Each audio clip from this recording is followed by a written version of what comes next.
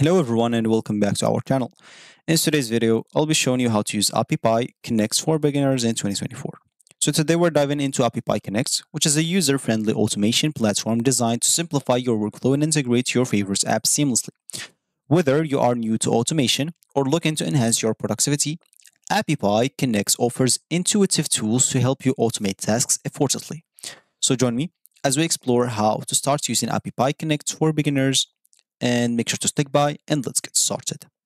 Before we start with this video, make sure to watch us from now till the end so you have full experience. First, you'll need to go and open a browser that we'll use for this tutorial. For me here, I'm using Brave. For you, you can use any other browser that you could possibly have. Once you open it, go to this URL section, just type simply AppyPie and hit the enter button.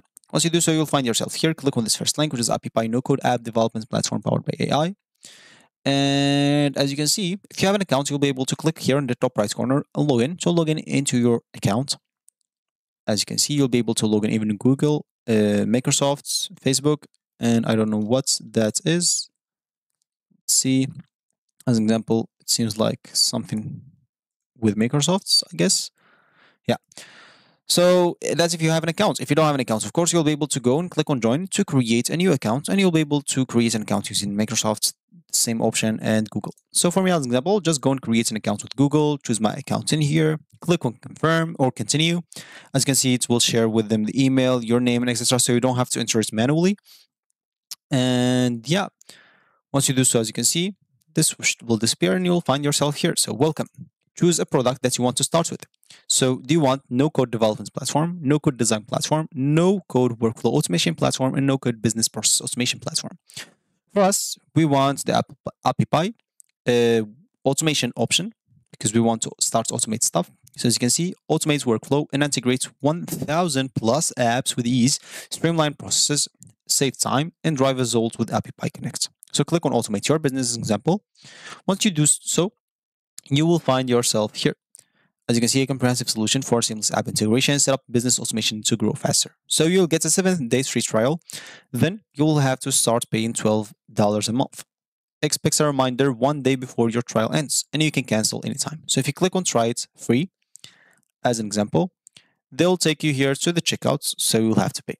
Of course, you'll not be able to start like paying or start using this without. You're not gonna pay, but you'll have to enter your cards information or your Stripe information or whatever you're going to pay with uh, to pay with. If you enter those informations out, then you are uh, you will be able to use this automate station platform. So you'll be able, of course, to automate your stuff on AppyPie. Of course, I'm not going to do it here, but for you, if you want to get it, you can just go. And as we said, you can cancel anytime that you want. Once you pay, or uh, once, of course, you pay your AppyPie, you'll find yourself on the dashboard. Of course, you will not find this error here, which is oops, something wrong because payments failed, as you can see. For me, you'll for you, you'll not find it of course, uh, as you said, this is going to be the dashboard for you. So the first thing that you should do is go to the list panel first of all, and you can familiarize yourself, of course, with the website first of all, and you can start exploring some uh, connects that's already people did. If you're trying to use one of the things that's already automated, as an example, you can go here to Auto Connect or Quick Connect and see. As an example, uh, you can see like enter the app that you want to connect as an example, I don't know which app are you trying to look for. Maybe Google something or maybe Gmail or something like that, let's say, and you're trying to connect this with sometimes you can see they give you some even examples. That's some some things as you can see here, this is already made. People are already make it. So You don't have to create your own connection. As you can see, save new Gmail attachments, origin file format to Google Drive.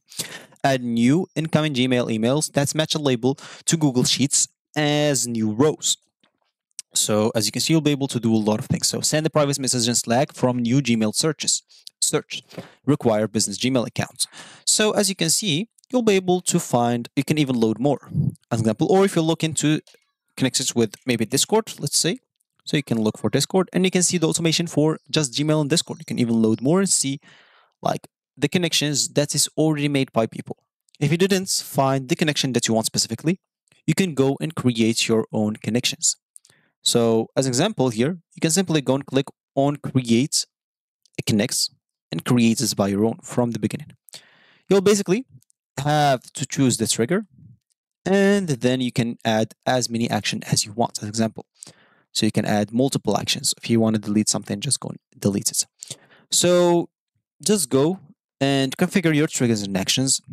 Uh, of course, components of your connects to define trigger events, conditions, and subsequent actions.